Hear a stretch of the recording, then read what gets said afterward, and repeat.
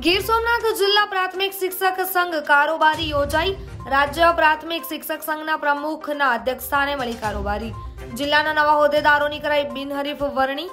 નવનિયુક્તિ પ્રમુખ પદે અનિલ પંપાણિયાની નિમણૂક કરાઈ મહામંત્રી પદે કિરીટ ઝાલા તો પ્રમુખ પદે દિલીપ સોલંકીની નિયુક્તિ